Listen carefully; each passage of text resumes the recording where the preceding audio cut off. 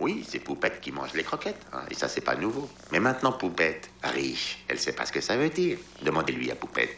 Riche, Poupette. hein. Tu sais ce que ça veut dire? Bah non, elle sait pas, voilà, elle sait pas. Alors c'est à nous de tout gérer. C'est pas facile tous les jours. Ça fait quand même des sommes. hein. Et Poupette, bah, elle ronronne, elle s'amuse. Comme d'habitude, rien n'a changé pour elle, ça alors. Hein. Du 1er janvier au 30 novembre 2011, 15 maxi croquettes d'une valeur de 10 000 euros sont à gagner sur Internet et dans les paquets Friskies chiens et chats, soit 150 000 euros.